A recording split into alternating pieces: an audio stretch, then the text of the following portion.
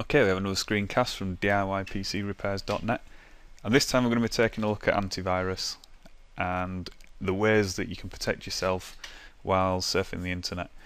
Uh, the number one uh, soft piece of software that you need when you're surfing the internet is an antivirus program. If you're currently surfing the internet without one, you really are at risk from all the nasties that are out there at the moment. Um, it, it, it really is, as Microsoft put it, essential that you have some sort of antivirus if you're on the internet, especially if you're on the internet and doing online shopping, online banking, or anything like that. Um, you know, it really is important that you get some sort of antivirus.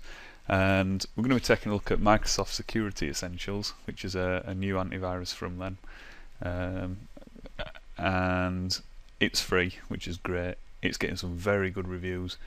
So for all those people that are currently watching this with antivirus, this really is for you. So we're going to be taking a look at how we actually download and install Security Essentials in this part 1 and in part 2 we'll be taking a look at some of its settings and how to run it.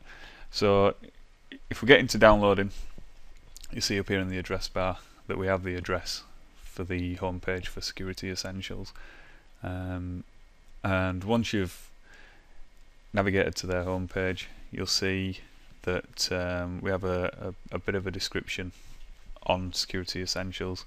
Uh, Microsoft Essentials is free, but if you take a look down here, your PC must be running genuine Windows to install this. So, hopefully, we're all running genuine Windows, and um, we're going to be taking a look at downloading. So, I'm currently using Internet Explorer 8. Um, so we'll we'll get into it and we'll we'll download. So it's pretty straightforward homepage. Um, you see the download link here. So if we left click on download now, we'll get a pop up from Microsoft. We'll also get the file download dialog box, and once that's appeared, we want to left click on run.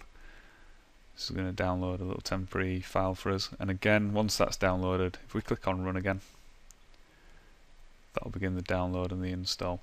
User account control again is popping up and we just click continue. And then once we get to the installation page uh, you can have a read through that and then click next. Again uh, license agreement and we click accept. And now this is the part where it's going to validate our Windows install. Now if you're running a genuine Windows nothing to fear here just click on validate. Um, it'll then give you a quick flash screen there that it's passed and it's a genuine Windows.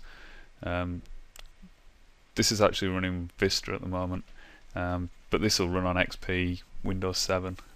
Uh, it's just that my uh, Windows 7 install has antivirus running it already, and this Vista machine's a, a clean install. So once we've gone through the validation part, we can click install, and this is going to start the the install of the security essentials.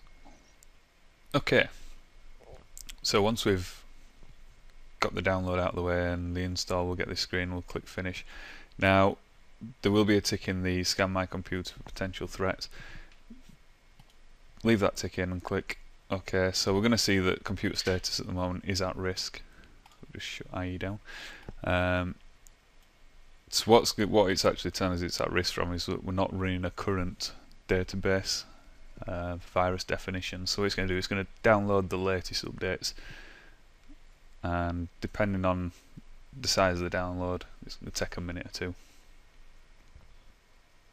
Okay, once the definitions have updated, um, due to the fact that we left the tick in the box, it will run a scan. Uh, it's running the quick scan, and once you've you've run through the scan, you'll be presented with this page. And for this video, that's as far as we're going to go. In part two, we'll be taking a look at some of the some of the settings that we can alter uh, and what some of these things are. So make sure you check out the second part of the video, and uh, and that's it. And I'd like to thank you for viewing.